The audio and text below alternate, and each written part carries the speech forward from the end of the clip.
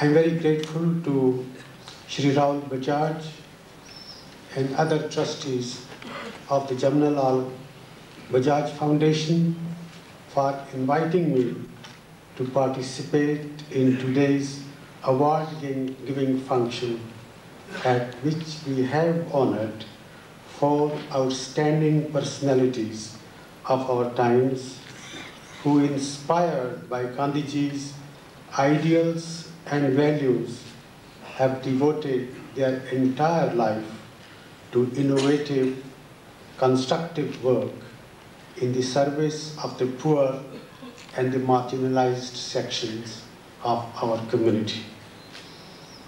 It is indeed a most befitting way of paying tribute to the great Gandhian patriot and philanthropist, the late Shri Jamnalal Bajaj.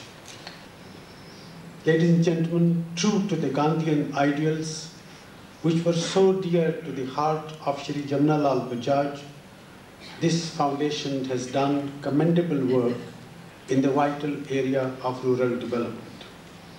Despite significant industrialization, even today, the proportion of our people dependent on agriculture has declined only marginally since independence. At the same time, the share of agriculture in our national income has declined drastically from 50% at the time of independence to less than 25% now. As a result, the gap in per capita incomes and living standards between rural India and urban India has greatly widened, giving rise to increasing social tensions as well as violence in many parts of our country. We need, therefore, a multifaceted strategy to address this major societal issue of our times. First, we must adopt credible strategies to raise incomes and productivities of our farmers, particularly small and marginal farmers, and in particular those living under conditions of dry land and drought-prone agriculture. Simultaneously, through adequate provision of basic needs and social services in our villages, we must create an environment where people will not be tempted prematurely to rush to our towns and metropolitan areas.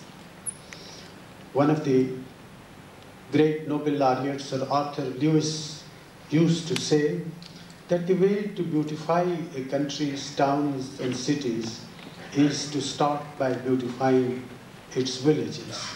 I think in this area there is, there has been a growing development deficit in our country and we can ignore it at our own peril. At the same time, using the tools of modern science and technology, we must create opportunities of off-farm productive employment close to our villages. And in this context, the work of people like Dr. Rajvanshi assumes great importance.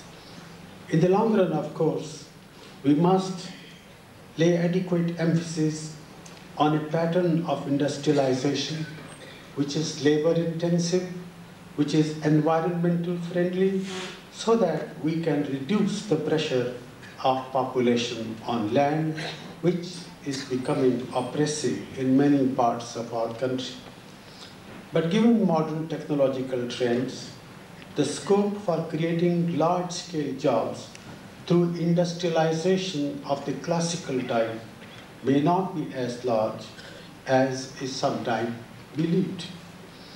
All this then serves to emphasize the centrality of paying adequate attention to the promotion of integrated, social, integrated rural development on a holistic basis. We have talked about this thing a great deal.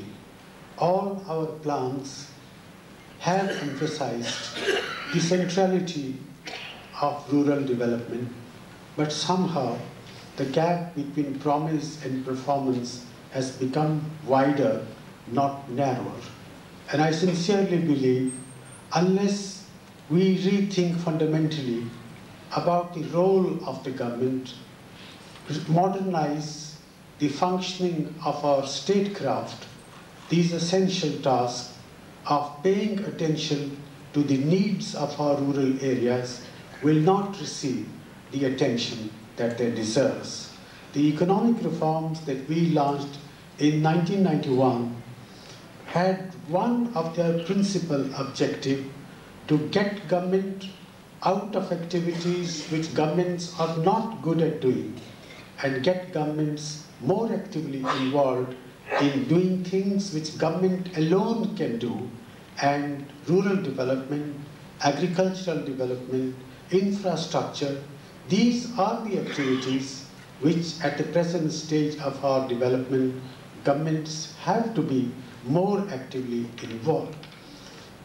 In this respect, the distinguished recipients of award this evening constitute powerful role models for our troubled world. They are a unique blend of spirituality and social commitment. Like the late Shri Jamnalal Bajaj, they are the true karma yogis imbued with the spirit of Nishkam Seva. I salute them and invoke God's blessings for them, as well as for the trustees of this foundation, so that they can all carry forward their noble work with still greater effectiveness and dedication in years to come. I thank you all for listening to me with patience.